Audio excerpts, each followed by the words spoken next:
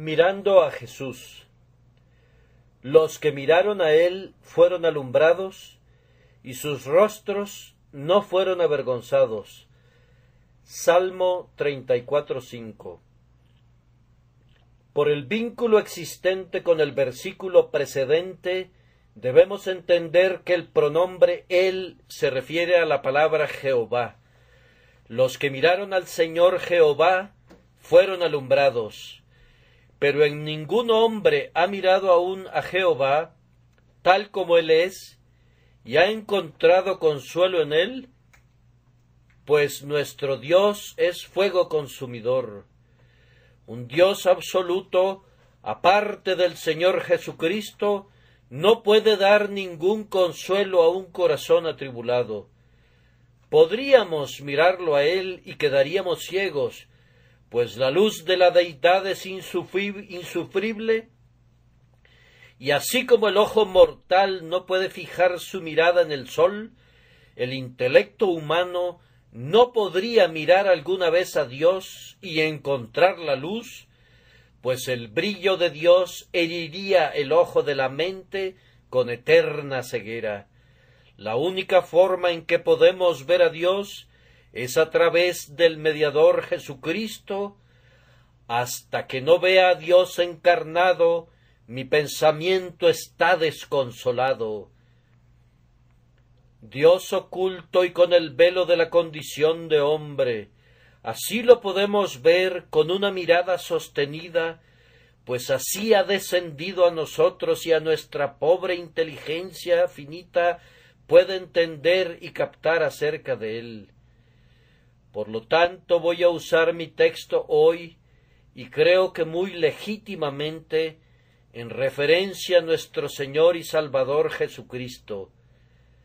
Los que miraron a Él fueron alumbrados, pues cuando miramos a Dios, como es revelado en Jesucristo nuestro Señor, y contemplamos la deidad como es evidente en el hombre encarnado que nació de la Virgen María y fue crucificado por Poncio Pilato? En efecto vemos eso que ilumina la mente y derrama rayos de consuelo en el corazón que ha despertado.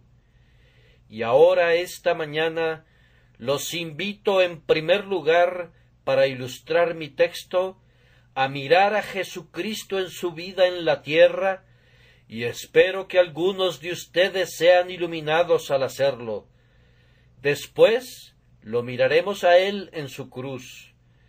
Posteriormente vamos a mirarlo a Él en su resurrección. Lo miraremos a Él en su intercesión. Y finalmente vamos a mirarlo a Él en su segunda venida. Y puede ser que conforme lo miremos con un ojo fiel, el versículo tendrá cumplimiento en nuestra experiencia que es la mejor prueba de una verdad de Dios cuando comprobamos que es verdad en nuestro propio corazón. Vamos a mirarlo a Él y seremos alumbrados. Entonces, primero vamos a mirar al Señor Jesucristo en su vida. Y aquí el santo que está tribulado encontrará todo lo que puede iluminarlo en el ejemplo, en la paciencia, en los sufrimientos de Jesucristo. Estas son estrellas de gloria que resplandecen en la medianoche sombría del cielo de la tribulación. Vengan aquí todos ustedes hijos de Dios, y sin importar cuáles sean sus penas, ya sean de carácter temporal o espiritual, encontrarán suficiente alivio y, consuelo en sus vidas si el Espíritu Santo abre ahora sus ojos para mirarlo a Él. Tal vez tengo en mi congregación, más bien tengo la plena certeza que hay personas en mi congregación están hundidas en las profundidades de la pobreza. Ustedes son hijos del afán. Ustedes comen su pan con mucho sudor de su frente, El pesado yugo de la opresión sofoca su cuello. Tal vez en este momento sufran de un hambre extremosa. El hambre los acosa, y aunque estén en la casa de Dios, el cuerpo de ustedes se queja y ustedes se sienten muy abatidos. Míralo a él, pobre hermano mío en Jesús, que estás muy afligido. Míralo a él, para que seas alumbrado. ¿Por qué te quejas de carencia o aflicción, tentación o dolor? Él no ofreció nada más leve. Herederos de la salvación, sabemos por su palabra que en medio de la tribulación seguiremos al Señor. Míralo allí. Durante cuarenta días él ayuna y tiene hambre. Míralo de nuevo, cansado del camino y sediento, se sienta junto al pozo de Sicar y él, el Señor de gloria, que sostiene a las nubes en la palma de su mano, dijo a la mujer Dame de beber. ¿Acaso el discípulo será más que su maestro, o el siervo más que su señor? Si él tuvo hambre y sed y desnudez, oh heredero de la pobreza, ten buen ánimo. En todo esto tienes comunión con Jesús. Por tanto, ten consuelo y míralo a él y serás alumbrado. Tal vez tu problema es de otro tipo. Tal vez has venido aquí hoy doliéndote de la lengua bifurcada de esa víbora, la calumnia. Tu carácter, aunque puro y sin mancha ante Dios, parece estar perdido ante el hombre, pues esa sucia cosa calumniosa que ha buscado quitarte eso que es más querido para ti que la vida misma, tu carácter, tu buena fama, y en este día estás lleno de amargura y borracho de ajenjo, porque has sido acusado de crímenes que tu alma aborrece. Oh hijo del luto, este es ciertamente un duro golpe. La pobreza es como el azote de Salomón, pero la calumnia es como los escorpiones de Roboam. Las profundidades de la pobreza se pueden sostener con el dedo meñique, pero la calumnia se tiene que llevar sobre los lomos. Pero en todo esto puedes tener el consuelo de Cristo. Ven y míralo a Él, para que seas alumbrado. El Rey de Reyes fue llamado Samaritano. Decían de él que tenía un demonio y que estaba loco.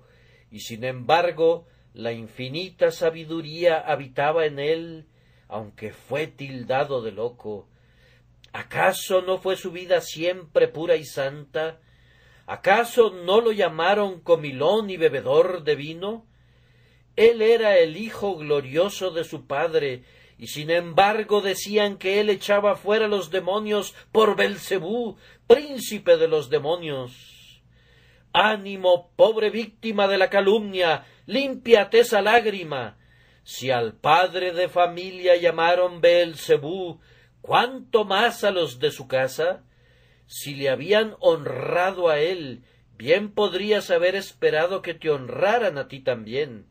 Conforme lo escarnecían y le arrebataban su gloria, no le importó llevar la afrenta y la deshonra, pues él está contigo, llevando su cruz delante de ti, y esa cruz será más pesada que la tuya.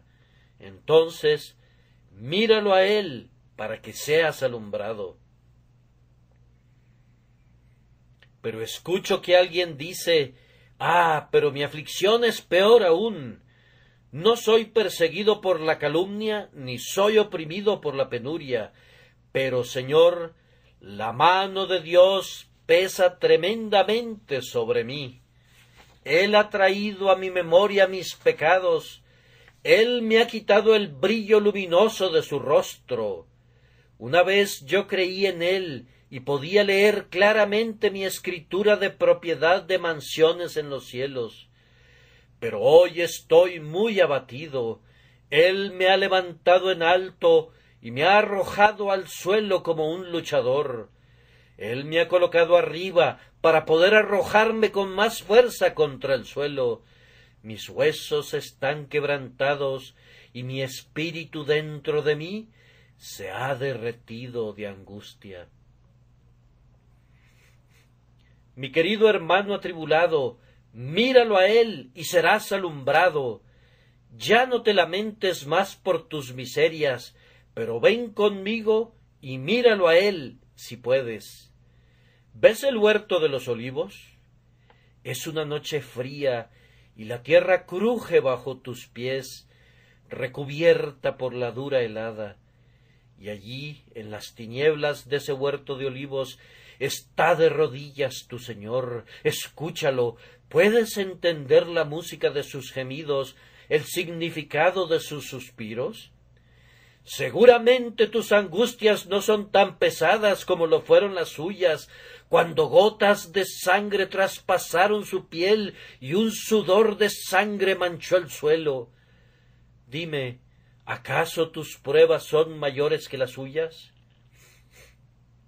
Entonces, si él tenía que combatir con los poderes de las tinieblas, tú debes esperar lo mismo y míralo a él en la última hora solemne de su agonía y escúchale decir Dios mío, Dios mío, ¿por qué me has desamparado? Y cuando hayas oído eso, no murmures como si algo extraño te hubiese ocurrido, como si tuvieras que unirte en su lama sabactani y sudar unas cuantas gotas de su sudor sangriento. Los que miraron a él fueron alumbrados. Pero posiblemente haya alguien aquí que es muy perseguido de los hombres. Ah, dirá alguien, yo no puedo practicar mi religión con tranquilidad. Mis amigos se han volteado en mi contra. Soy motivo de escarnio y de mofa y de burla por causa de Cristo. Vamos, cristiano, no temas nada de esto, sino míralo a él para que seas alumbrado. ¿Te acuerdas cómo lo persiguieron a él? Oh, piensa en la vergüenza y en la manera en que le escupían y tiraban de sus cabellos y lo escarnecían los soldados. Piensa en esa terrible marcha a través de las calles, cuando cada hombre le gritaba y cuando aun quienes fueron crucificados con él lo envilecían. ¿Acaso has sido tratado peor que él? Pienso que esto es suficiente para que te pongas una vez más tu armadura. ¿Por qué te avergüenzas de ser deshonrado de la misma manera que tu Señor? Fue este pensamiento el que animaba a los mártires en tiempos antiguos, quienes luchaban en el combate sangriento, sabían que tenían que conquistar la corona ensangrentada, la corona de rubíes del martirio. Por tanto, ellos soportaban todo como viendo al invisible. Esto los consolaba y los animaba en todo momento. Ellos lo recordaban a él que sufrió tal contradicción de pecadores contra sí mismo, para que vuestro ánimo no se canse hasta desmayar, porque aún no habéis resistido hasta la sangre combatiendo contra el pecado, porque ellos sabían que su Señor había hecho lo mismo y su ejemplo los consolaba. Estoy persuadido, amados hermanos y hermanas, que si miráramos más a Cristo, nuestros problemas no se volverían tan negros en la oscura noche. Mirar a Cristo va a aclarar el cielo de ébano. Cuando las tinieblas parecen tan espesas como las de Egipto, la oscuridad se puede sentir como sólidos pilares de ébano y aun así como un relámpago brillante, tan brillante aunque no tan fugaz, será una mirada a Jesús. Una simple mirada a Él puede ser suficiente para todos nuestros trabajos en el camino. Animados por su voz, recargados de energía por su fortaleza, Estamos preparados para la acción y para el sufrimiento, tal como Él, hasta la muerte. Si Él está con nosotros, también hasta la muerte. Entonces, este es nuestro primer punto. Tenemos la confianza en que ustedes, que son cristianos agotados, no olvidarán que deben mirar a Él para ser alumbrados. Y ahora tengo que invitarlos a contemplar un espectáculo más lúgubre. Pero extrañamente, en la medida que el espectáculo se torna más negro, para nosotros se vuelve más resplandeciente. Cuanto más profundamente se hundió el Salvador en los abismos de la miseria, más brillantes han sido las perlas que él ha obtenido, entre mayores fueron sus angustias y más profunda su deshonra, más brillantes han sido nuestras glorias. Vamos entonces, y esta vez voy a pedir a los pobres pecadores que dudan y tiemblan, así como también a los santos, que vengan conmigo. Vamos ahora a la cruz del Calvario. Allí, en la cima de esa pequeña colina, fuera de las puertas de Jerusalén, donde ejecutaban a los criminales comunes, el Tyburn de Jerusalén, el Old Bailey de esa ciudad, donde los criminales eran ejecutados, allí están tres cruces. La del centro está reservada para alguien que tiene la reputación de ser el más grande de los criminales. Miren allí, lo han clavado en la cruz es el Señor de la vida y de la gloria, a cuyos pies los ángeles se deleitan derramando frascos llenos de gloria. Lo han clavado en la cruz. Él está suspendido allí en la mitad del cielo, agonizante, desangrándose, tiene sed y clama. Le traen vinagre que aplican con violencia en su boca. Él sufre y necesita simpatía, pero más bien se burlan de él diciéndole a otro salvó y a sí mismo no se puede salvar.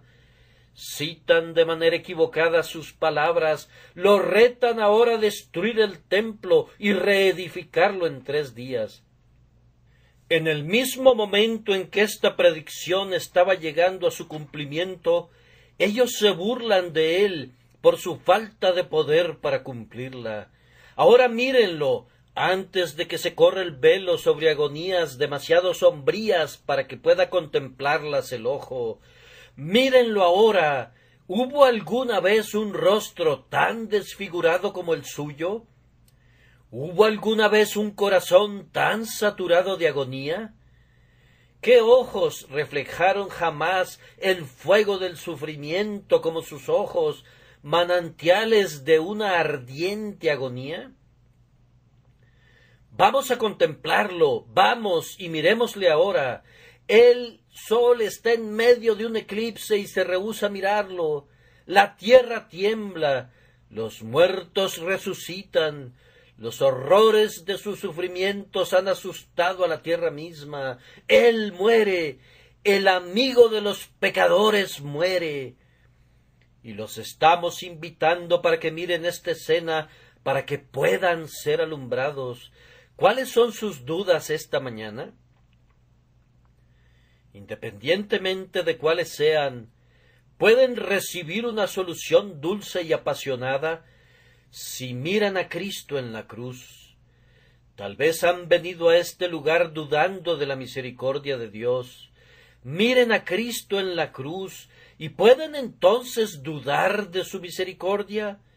Si Dios no fuese abundante en misericordia y lleno de compasión, ¿habría entregado a su Hijo para que se desangrara y muriera?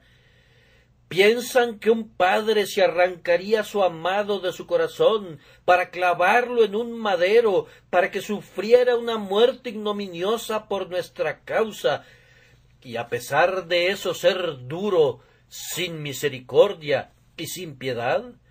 Lejos de nosotros tal pensamiento impío. ¿Debe haber misericordia en el corazón de Dios?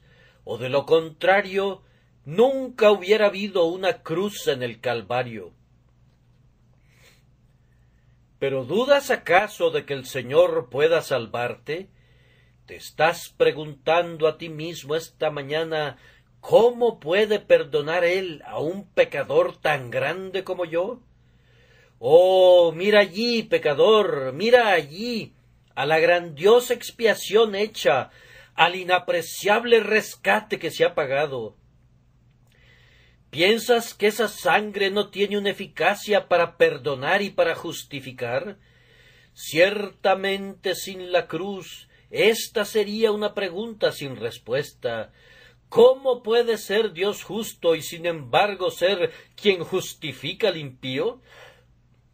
Pero mira allí al sustituto que sangra, y debes saber que Dios ha aceptado sus sufrimientos como un equivalente del sufrimiento de todos los creyentes. Y luego deja que tu espíritu se atreva a pensar, si puede, que la sangre de Cristo no es suficiente para permitir que Dios reivindique su justicia y que sin embargo tenga misericordia de los pecadores. Pero sé que dices mi duda no es acerca de su misericordia general, ni de su poder de perdonar, sino acerca de si quiere perdonarme a mí. Ahora yo te suplico por aquel que vive y murió, en esta mañana no mires a tu propio corazón tratando de encontrar una respuesta a esa dificultad. No te quedes quieto mirando tus pecados. Tus pecados te han llevado al peligro y no te pueden sacar de él. La mejor respuesta que puedes obtener jamás se encuentra a los pies de la cruz. Cuando llegues a tu casa esta mañana, siéntate durante una media hora en una quieta contemplación. Siéntate a los pies de la cruz y contempla al Salvador agonizante, y te reto a ver si te atreves a decir tengo dudas de su amor por mí. Mirar a Cristo engendra la fe. No puedes creer en Cristo excepto contemplándolo, y si lo miras, vas a aprender que Él puede salvar. Vas a conocer su misericordia, y no puedes dudar de él después que lo has mirado una vez.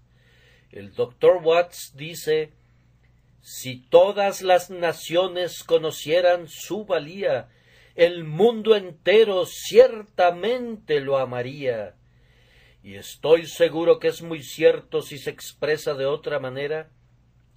Si todas las naciones conocieran su valía, el mundo entero ciertamente en él confiaría.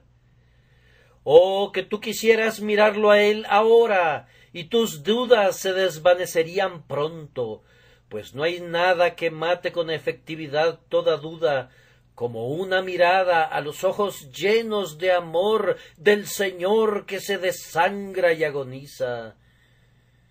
Ah, comenta alguien, pero mis dudas están vinculadas a mi propia salvación. En este sentido, no puedo ser tan santo como yo quisiera.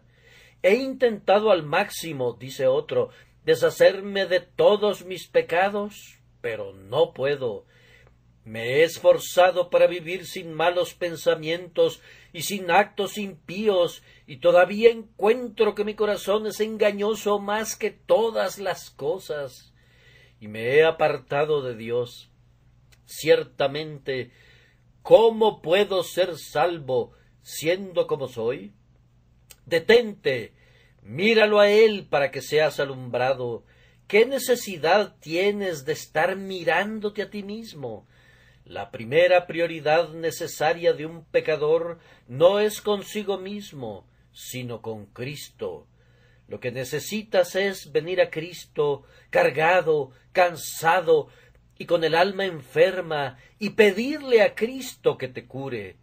No debes ser primero tu propio médico para después ir a Cristo, sino debes ir a Él tal como eres. La única salvación para ti es confiar directamente, simplemente, desnudamente en Cristo. Algunas veces lo digo de esta manera haz de Cristo el único pilar de tu esperanza y nunca intentes apoyarlo o sostenerlo a Él. Él puede, Él quiere. Todo lo que pide de ti es que confíes en Él. En cuanto a tus buenas obras, esas se producirán después. Ellas son el fruto del Espíritu. Tu primera obligación no es hacer, sino creer. Mira a Jesús y pon tu confianza en Él. Oh, exclama alguien, Señor, me temo que no siento mi necesidad de un Salvador como debería sentirla. Te estás mirando a ti mismo otra vez. Todos ustedes están mirando a ustedes mismos. Esto es totalmente indebido. Todas nuestras dudas y temores surgen de esta causa. Estamos mirando al lugar equivocado. Solo miren a la cruz otra vez, tal como lo hizo el pobre ladrón cuando agonizaba. Él dijo Acuérdate de mí cuando vengas en tu reino. Haz tú lo mismo. Puedes decirle a él, si quieres, que tú no sientes la necesidad que tienes de él como deberías sentirla. Puedes poner esto junto con todos tus demás pecados, que temes que no tienes la perspectiva adecuada de cuán grande y enorme es tu culpa. Puedes agregar a toda tu confesión este grito Señor, ayúdame a confesar mejor mis pecados, ayúdame a sentirlos de manera más penitente. Pero recuerda, no te salva tu arrepentimiento. Es la sangre de Cristo fluyendo de sus manos y de sus pies y de su costado. Oh, yo les suplico por aquel a quien sirvo, vuelvan sus ojos a la cruz de Cristo en esta mañana. Él cuelga en la cruz hoy. Él está suspendido en medio de ustedes. Como Moisés levantó la serpiente en el desierto, así también está levantado el Hijo del Hombre hoy ante sus ojos, para que todo aquel que en él crea no se pierda, mas tenga la vida eterna. Y ustedes, hijos de Dios, me dirijo a ustedes ahora, pues también ustedes tienen sus dudas. ¿Quieren verse libres de ellas? Quieren regocijarse en el Señor con fe inconmovible y confianza inquebrantable, entonces miren a Jesús, mírenlo de nuevo y serán alumbrados. Yo no sé qué ocurre con ustedes, mis queridos amigos, pero a menudo yo me encuentro asediado por las dudas. Y todo se puede reducir a la pregunta si tengo amor a Cristo o no. Y a pesar de que algunas personas se ríen de este himno, es un himno que me veo obligado a cantar.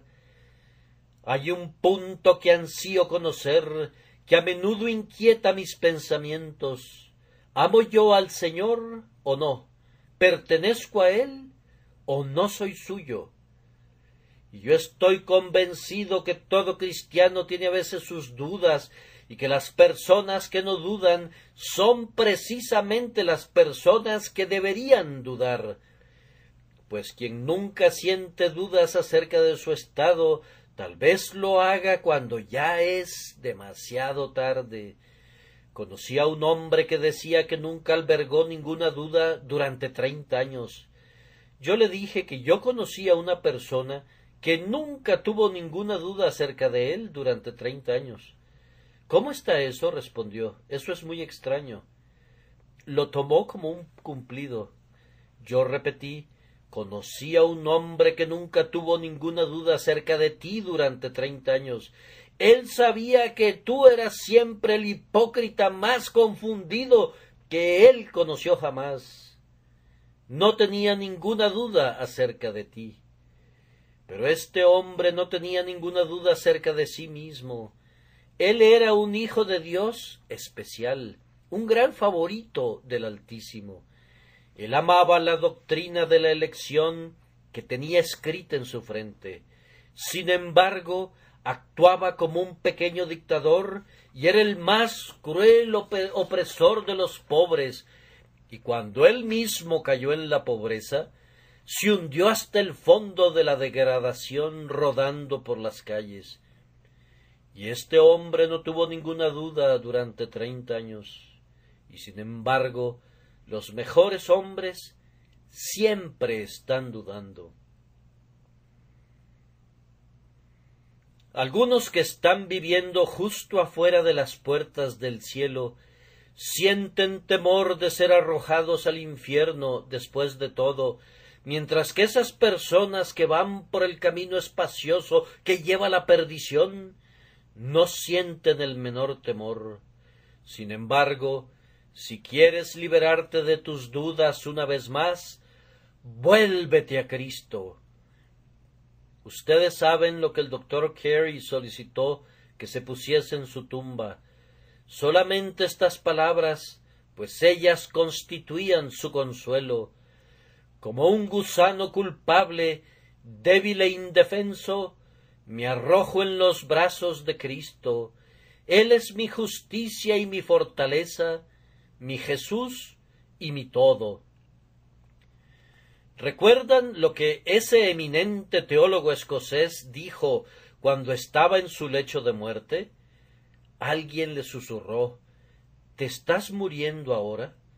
Él respondió Solo estoy juntando todas mis buenas obras para arrojarlas todas por la borda.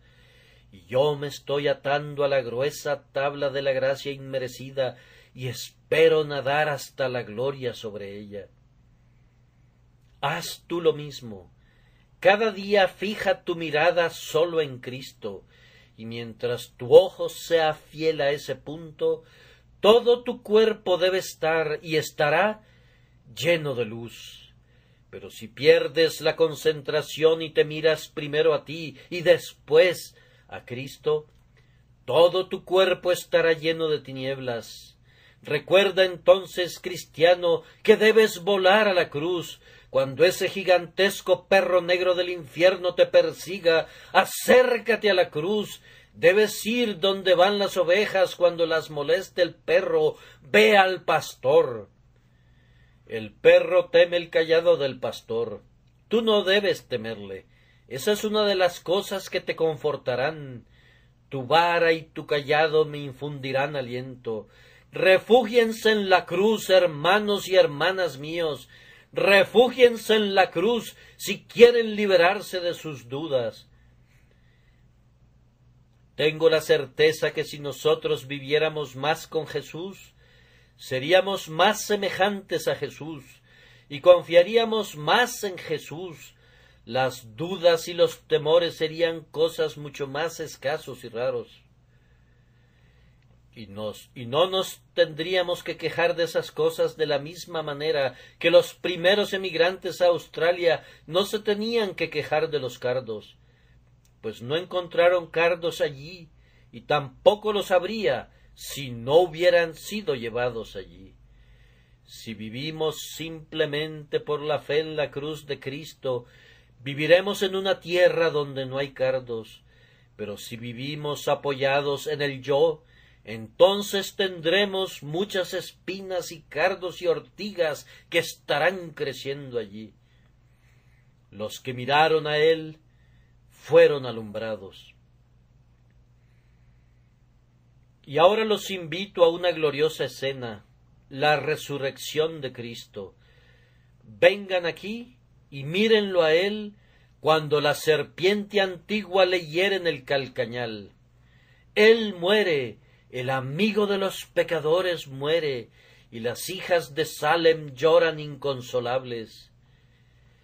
Él fue envuelto en un sudario y depositado en la tumba, y allí él durmió durante tres días con sus noches. Y en el primer día de la semana, él, que no podía ser retenido por las ataduras de la muerte, y cuyo cuerpo no podía conocer la corrupción, ni su alma habitar en el Hades, él se levantó de los muertos. En vano las ataduras lo envolvían. Él mismo se liberó de ellas y por su propio poder viviente las dobló en perfecto orden y las colocó en su lugar. En vano estaban allí la gran piedra y el sello. El ángel se apareció y rodó la piedra y el Salvador salió. En vano estaban allí los guardias y los vigilantes, pues ellos huyeron aterrorizados, y él se levantó como el conquistador de la muerte como las primicias de los que durmieron. Por su propio poder y potencia, Él ha resucitado. Veo entre los miembros de mi congregación a muchos que llevan el traje negro del luto. Algunos de ustedes han perdido a sus parientes más queridos en la tierra. Hay otros aquí que, no lo dudo, están bajo el constante terror de la muerte, Ustedes están de por vida sujetos a la servidumbre porque están pensando en los gemidos y en el combate mortal que se le presenta a los hombres cuando se aproximan al río Jordán. Vamos, vamos, les suplico, todos ustedes espíritus que gimen tímidamente, contemplen a Jesucristo resucitado. Pues recuerden, esta es una grandiosa verdad mas ahora Cristo ha resucitado de los muertos, primicias de los que durmieron es hecho. Y la estrofa de nuestro himno contiene ese pensamiento que, aunque nuestro propio pecado requiere que nuestra carne vea el polvo, sin embargo, como el Señor nuestro Salvador resucitó, así todos los que le siguen deberán resucitar. Entonces, tú que eres viuda, no llores más por tu esposo si él murió en Jesús. Miras al Señor, Él resucitó de los muertos. Él no es un espectro. En presencia de sus discípulos Él come un trozo de un pez asado y parte de un panal de miel. Él no es un espíritu, pues Él dice, palpad y ved, porque un espíritu no tiene carne ni huesos, como veis que yo tengo. Esa era una resurrección real. Y aprendan, queridos hermanos, a reprimir sus tristezas cuando lloren, pues sus seres queridos vivirán nuevamente. No solamente vivirán sus espíritus, sino también sus cuerpos. Corrupción, tumba y gusanos simplemente refinan este cuerpo al son de la trompeta del arcángel, tendremos un cuerpo renovado. Oh, no piensen que los gusanos se han comido a sus hijos, a sus amigos, a su esposo, a su padre, a sus ancianos progenitores. Es cierto, parecería que los gusanos se los han devorado, Oh, ¿qué es el gusano después de todo, sino el filtro a través del cual nuestra pobre carne contaminada debe pasar? Pues en un abrir y cerrar de ojos, a la final trompeta, los muertos serán resucitados incorruptibles, y los que viven serán transformados. Verás de nuevo el ojo que acaba de ser cerrado, y habrá vida en él Tomarás de nuevo la mano que acaba de quedar inerte a un costado del lecho. Besarás de nuevo esos labios fríos y sin color como el hielo, y de nuevo oirás la voz que está en silencio en la tumba. Vivirán de nuevo, y ustedes que temen a la muerte, ¿por qué tener miedo de morir?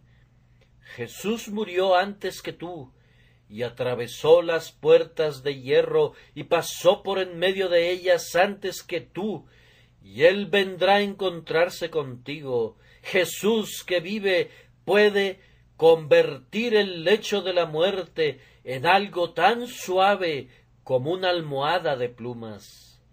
Entonces, ¿por qué llorar? Jesús resucitó de los muertos, y ustedes también resucitarán. Tengan ánimo y confianza.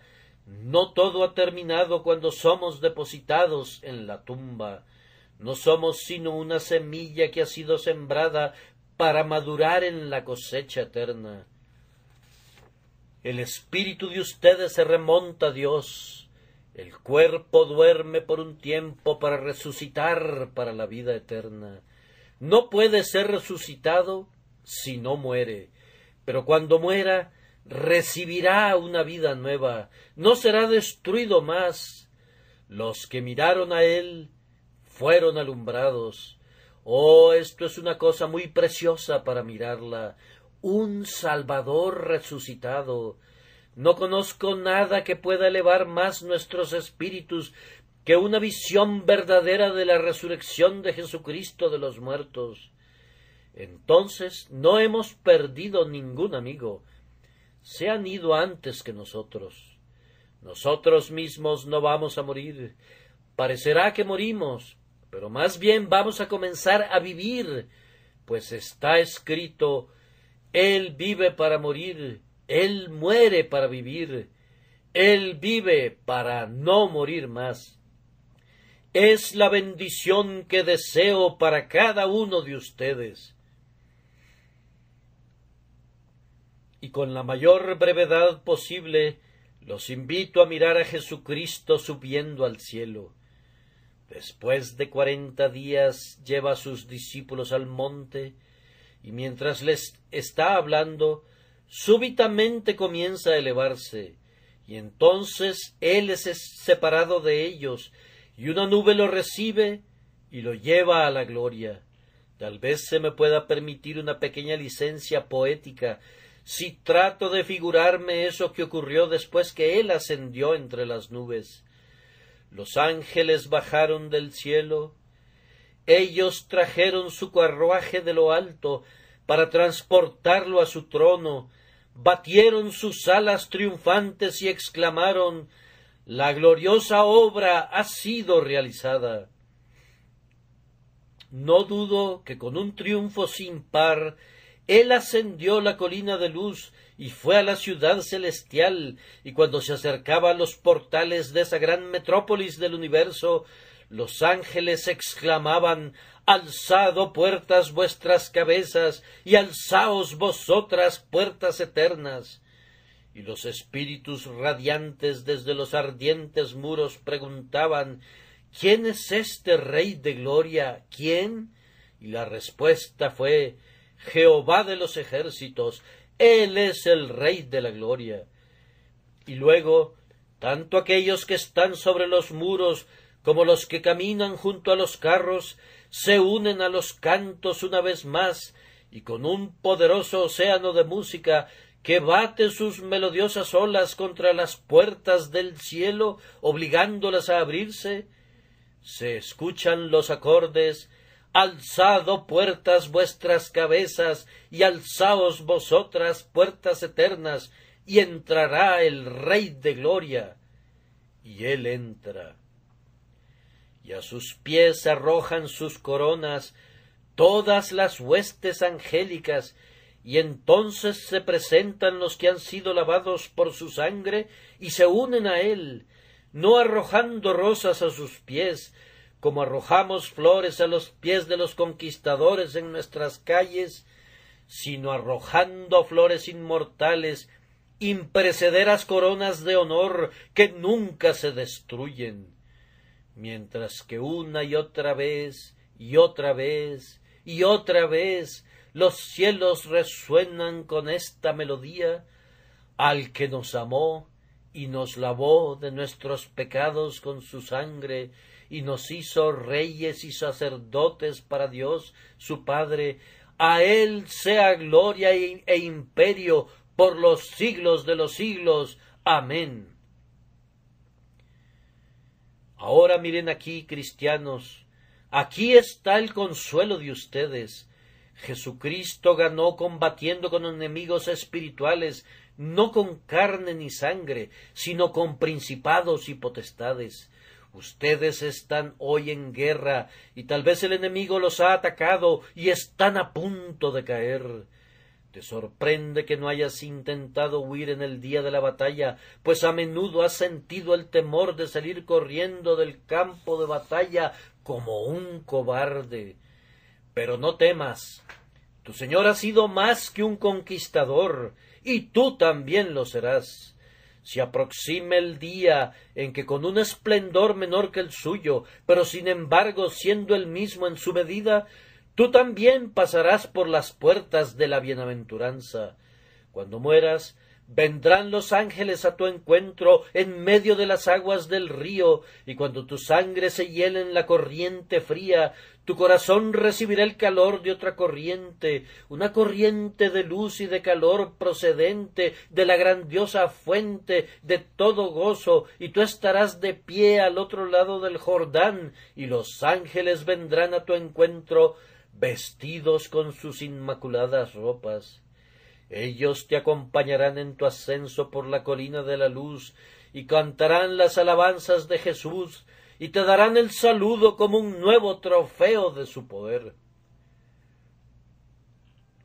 Y cuando entres por las puertas del cielo, Cristo saldrá a recibirte, tu Señor, quien te dirá Bien, buen siervo y fiel, entra en el gozo de tu Señor. Entonces tú sentirás que estás compartiendo su victoria, así como antes participaste en sus luchas y en su guerra. Continúa luchando, compañero cristiano. Tu glorioso capitán ha ganado una gran victoria y ha conseguido para ti en esa única victoria un estandarte que nunca ha sido manchado por la derrota, aunque con frecuencia ha sido mojado con la sangre de sus defensores. Y ahora, una vez más, los que miraron a él fueron alumbrados. Míralo, él está sentado en el cielo. Él llevó cautiva la cautividad y ahora está sentado a la diestra de Dios, haciendo intercesión continua por nosotros. ¿Puede imaginarlo hoy tu fe? Como un gran sumo sacerdote de tiempos antiguos, Él está con sus brazos extendidos, hay majestad en su pose, pues él no es un común intercesor que se humilla, él no se da golpes de pecho, ni lanza su mirada al suelo, sino suplica con autoridad en un trono de gloria. Sobre su cabeza está la brillante mitra reluciente de su sacerdocio, y miren sobre su pecho están las deslumbrantes piedras preciosas, donde están grabados para siempre los nombres de sus elegidos. Escúchenlo en el momento de su intercesión. ¿Puedes oír lo que dice? ¿Acaso no es tu oración la que él está mencionando ante el trono? Esa oración que tú ofreciste esta mañana antes de que vinieras a la casa de Dios, Cristo la está ofreciendo ahora ante el trono de su Padre. El voto que recién has hecho cuando dijiste Ten piedad y ten misericordia, Él los está repitiendo. Él es el altar y el sacerdote, y con su propio sacrificio Él rocía de perfume nuestras oraciones. Y sin embargo, posiblemente Ustedes han estado orando por muchos días sin obtener una respuesta. Pobre suplicante que lloras, tú has buscado al Señor y Él no te ha oído, o al menos no te ha respondido de manera de deleitar tu alma. Has clamado a Él, pero los cielos han sido como de cobre, y Él no ha permitido el acceso de tu oración. Estás lleno de tinieblas y de desánimo, Debido a esto, los que miraron a él fueron alumbrados. Si tú no logras el éxito, él sí lo logra. Si tu intercesión pasa desapercibida, él no puede pasar desapercibido. Si tus oraciones pueden ser como agua derramada sobre una roca que no puede ser recogida de nuevo, sus oraciones no son así. Él es el Hijo de Dios. Él suplica y debe prevalecer. Dios no le puede rehusar a su propio Hijo lo que le pide ahora, a quien compró una vez las misericordias con su sangre. Oh, ten ánimo, continúa con tu súplica. Los que miraron a él fueron alumbrados. En último lugar, hay algunos aquí que están cansados del estrépito y del clamor de este mundo, y con la iniquidad y el vicio de este mundo. Se han estado esforzando a lo largo de toda su vida para poner un alto al reino del pecado, y parecería que sus esfuerzos no han dado ningún fruto. Los pilares del infierno están más firmes que nunca, y el negro palacio del mal no ha sido derruido han tratado de derribarlo con todos los arietes de la oración y del poder de Dios. ¿Así lo han creído ustedes? Y sin embargo el mundo todavía peca, sus ríos todavía fluyen con sangre, sus llanuras todavía están contaminadas con la danza lasciva, y su oído todavía está manchado con la sucia canción y el juramento profano. Dios no es honrado, el hombre es todavía vil, y tal vez tú dices es en vano que continuemos la lucha. Hemos asumido una tarea que no puede cumplirse. Los reinos de este mundo no pueden llegar a ser nunca los reinos de nuestro Señor y de su Cristo. Pero cristiano, los que miraron a Él fueron alumbrados. He aquí, Él viene, Él viene, él viene pronto, y lo que nosotros no podemos hacer en seis mil años, Él puede hacerlo en un instante. He aquí, Él viene, Él viene para reinar. Nosotros podemos intentar construir su trono, pero no vamos a lograrlo. Pero cuando Él venga, Él mismo construirá su trono sobre sólidos pilares de luz y se sentará para juzgar en Jerusalén gloriosamente en medio de sus santos. Posiblemente hoy, en esta hora en que estamos reunidos, Cristo pueda venir, pero el día y la hora nadie sabe, ni aun los ángeles de los cielos. Aun mientras estoy hablando, Cristo Jesús puede aparecerse en las nubes de gloria. No tenemos ninguna razón para estar tratando de adivinar el momento de su venida. Él vendrá como ladrón en la noche. Y si será cuando cante el gallo, o en pleno día, o a media noche, no nos está permitido estarlo adivinando. Esto ha sido dejado enteramente en la oscuridad, y vanas son las profecías de los hombres, vanos sus esbozos apocalípticos y tonterías como esas. Nadie sabe nada al respecto, excepto que es verdad que Él vendrá. Pero cuando Él venga, ningún espíritu en el cielo ni en la tierra pretenderá que lo sabía. Oh, es mi esperanza llena de gozo que Él venga mientras yo viva. Tal vez algunos de nosotros estaremos vivos y permaneceremos en la venida del Hijo del Hombre. Oh esperanza de gloria. Nosotros tendremos que dormir, pero seremos cambiados. Él puede venir ahora, y nosotros los que vivimos, los que hayamos quedado, seremos arrebatados en las nubes para recibir al Señor en el aire, y así estaremos siempre con el Señor. Pero si tú mueres, cristiano, esta es tu esperanza. Vendré otra vez y os tomaré a mí mismo, para que donde yo estoy, vosotros también estéis. Y esta debe ser tu responsabilidad. Por tanto, vosotros estad preparados también, porque el Hijo del hombre vendrá a la hora que no pensáis. ¿Cómo no voy a seguir trabajando pues Cristo está a la puerta. Nunca dejaré de esforzarme al máximo, pues mi Señor viene y su recompensa viene con él y su obra está ante él, dando a cada hombre conforme a su obra. Oh, no me voy a quedar inmóvil sumido en la desesperación, pues la trompeta ya está sonando. Me parece que oigo los pasos de la legión conquistadora los últimos poderosos héroes de Dios posiblemente están llegando al mundo.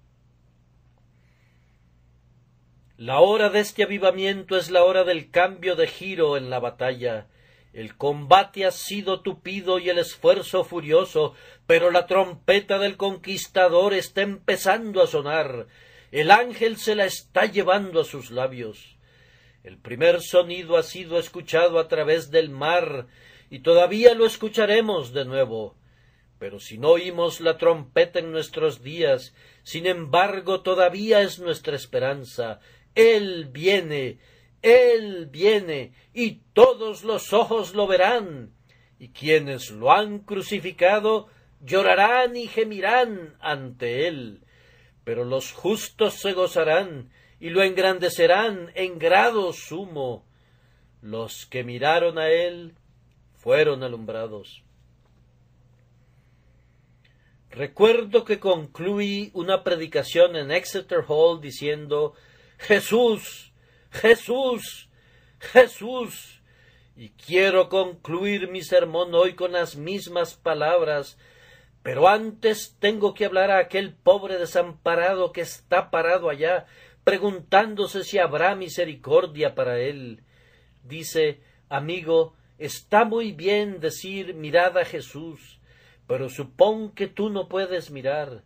Si estás ciego, ¿cómo puedes hacerlo? Oh, mi pobre hermano, vuelve tus ojos sin descanso a la cruz, y esa luz que da luz para aquellos que no ven, dará también la vista a quienes están ciegos. Oh, si no puedes creer en esta mañana, mira y considera y sopese el asunto, y al sopesar y reflexionar, recibirás la ayuda para creer. Él no te pide nada a ti, él te invita ahora a creer que Él murió por ti. Si hoy te sientes un pecador perdido y culpable, todo lo que Él pide es que creas en Él, es decir, confía en Él. ¿Acaso no es poco lo que Él pide? Y sin embargo, es más de lo que cualquiera de nosotros está preparado a dar, excepto que el Espíritu nos dé el querer. Vamos, arrójate sobre él, desplómate sobre su promesa, húndete o nada, confía en él, y no te puedes imaginar el gozo que sentirás en ese instante especial en que creas en él. ¿Acaso no hubo algunos entre ustedes que recibieron una fuerte impresión el domingo pasado y que han estado muy ansiosos toda la semana? Oh, espero haberles traído un buen mensaje este día para consuelo de ustedes.